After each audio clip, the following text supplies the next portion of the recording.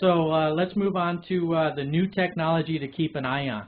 As I mentioned earlier in uh, in my discussions here, I like to talk about topics, you know, along the lines of solar, you know, wind power, um, and uh, alternative fuel, hacking, security, and that sort of thing. So uh, actually, Vince, if we just type shop in here, it will give us a link to uh, the shop.hiweb.net. So there's a, a link to shop.hiweb.net where you can see a list of all my affiliates and uh, get help get good deals and referred to reputable uh, distribution companies that can give you products that uh, you might be interested in. So again, to lead on with this, uh, this is my new technology to keep an eye on section. Uh, I like to talk about all kinds of things, and this week I'm going to talk about a few things. Some of them are kind of uh, just impact technology because we can use these things with technology or we can see that that this is somehow related to technology. And when I talk about new technology keep an eye on, I'm even talking about things like alternative fuels like biofuels and that sort of thing, which a couple of these topics are about biofuels and how they're impacting our world today. I'm not going to talk a whole lot on it, but I def definitely just want people to be aware of what's going on here. So uh, new technology to keep an eye on, story number one, is a malicious microprocessor opens new doors for attack. So for many years, uh, you know, malware and software that has been that's been on computers has just been software on a computer. This is a, a new breakthrough that they're able to hack the microprocessor. So on Tuesday of this week, some researchers at the University of Illinois were able to demonstrate how they altered a computer chip to grant attackers backdoor access to the computer. What they did is they basically changed 1,341 logic gates on this computer or on this microprocessor that had more than a million of these gates, and with that they were able to gain backdoor access to this computer. Uh, this attack was done on a, a programmable processor running Linux operating system, and they were able to inject malicious firmware into the chip's memory through this method. So this is like the ultimate backdoor, said one of the researchers, and uh, there's there's been nothing like this to date. So I'm also going to have the link to this entire news story in the show notes if anyone's interested. But that's pretty incredible that they're able to now take software down to the microprocessor level and develop backdoors that will completely go around the operating system right down to the hardware level and, and sneak into the system. So that's uh, a dangerous story that uh, you definitely want to keep an eye on with, if you're interested in security and that sort of thing. Story number two for technology to keep an eye on is biofuel rule will do more harm than good. In the UK, fuel for cars and trucks must contain a certain level of biofuel today. And uh, what's happening here is because of the the requirements on biofuel being put into food in, into the vehicles, it's causing food prices to go much higher. And a lot of uh, you know countries and that sort of thing have dependency on buying food, and because this is causing food prices to go much higher, these countries aren't able to afford this food. Also in this study, it shows that tailpipe, emi tailpipe emissions from burning biofuels is is not that much different than the tailpipe emissions from burning fossil fuels. So there's something to be said there, um, you know, in, in what we're doing with our future planning on trying to come up with these biofuels and whether we're really thinking about this right. The story goes on to say right now, rainforests are actually being destroyed to make way for biofuel crops in places like Indonesia, stuff like that. So um, uh, uh, uh, campaigner at Greenpeace said this destruction leads to massive greenhouse gas emissions that completely undermines the point of so-called green fuels. So this is kind of a scary topic and even in this country we're putting a lot of focus on biofuels and trying to figure out how to come up with you know alternative energies that are going to uh, going to help us stop the greenhouse gases that are supposedly uh, destroying our environment.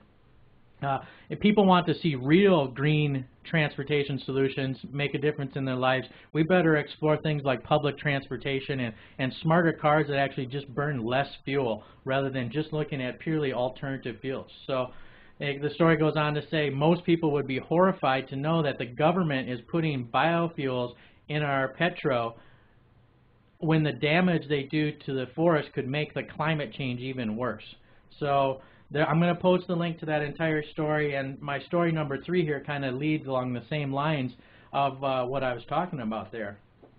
So let's keep an eye on alternative fuels, and, and someone in chat says, I want a horse. So yeah, that's a good thing. I've got my story number four here is something really cool along these lines, and I'm going to continue to feature um, you know, alternative energy topics and, you know, solar energy and wind turbine. I found a really cool wind turbine uh, story this week, but I'm gonna I might try to bring that in next week.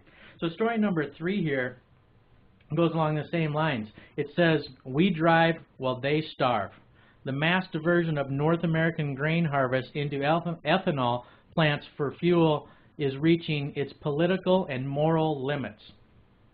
The reality is that people are dying. While we continue to drive our cars, there's people in these third world countries that are dying. It states that 232 kilograms of corn to fill a, it, it takes 232 kilograms of corn to fill a 50 liter car tank, or I did some quick maths on that, or that's 421 kilograms to fill what we generally have in the States, a 20 gallon uh, car tank. Which that could also, so the, the 50 liter car tank could feed one child for an entire year. Our 20 gallon car tank could feed two children for an entire year. And uh, what's happening here is uh, we divert right now 18% of our grain output for ethanol this year. And we're hoping to, by the year 2015, to divert 45% into biofuel type ethanol programs and that sort of thing. So it's kind of a, a, serious situation that we have here, which, you know, in our country we're spoiled because we don't have to spend so much money for food. The story goes on here saying that the risk is unrest and spread to countries where 50 to 60% of their income goes towards their food. So uh, riots are going on just because people can't get rice. People have even died because they're rioting about the cost of food. With the global population going from 6.5 billion today to 9.5 billion around mid-century, mid-century, uh, we're going to have a, a lot of things to learn, and we, we definitely don't want to learn it the hard way. So we need to continue to think about you know, these biofuels, are we doing what's right? And the idea, again, of cutting down rainforests to grow biofuels seems seems kind of stupid. One, uh, it says, seems profoundly stupid, said Professor John Beddington, Britain's chief scientific advisor.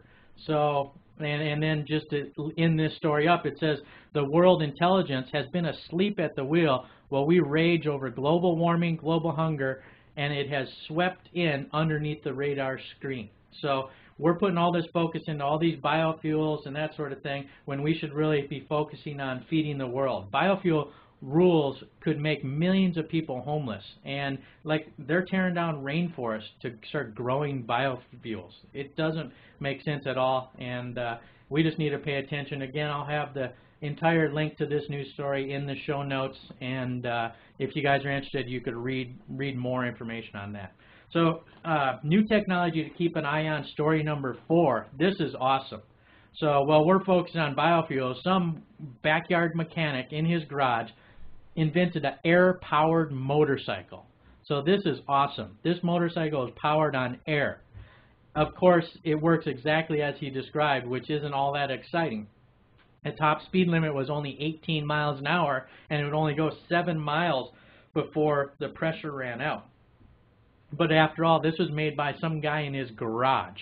And, uh, you know, he, he states with, you know, with a lot of tweaking and that sort of thing, he could obviously make his thing a lot more uh, efficient. And the, the idea of, you know, the advantages of this using air pressure stored as energy versus batteries is obviously the contamination to the environment, you know, how fast it takes him to charge his uh, compressed air into that. Someone in chat says India has compressed air automobiles. So that's, you know, as we're focusing on biofuels and that sort of thing, why don't we focus on you know, look at, try to look at the big picture and, you know, hopefully we'll make some of the right decisions and not let the government control everything that we're, we're trying to do here by, you know, with the fuel demands and that sort of thing, when we might be able to just run our vehicles off of compressed air or off of things like water, you know, and that sort of thing. You know, so the, you know, the, the problem is, is with the compressed air, they're not able to store a lot of energy in such a, a small place.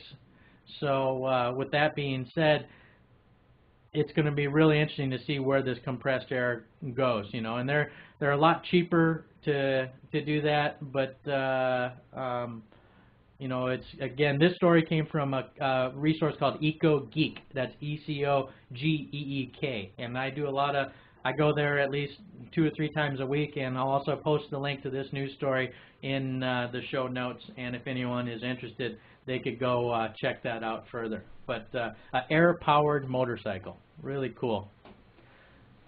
All right, so let's move on in the show.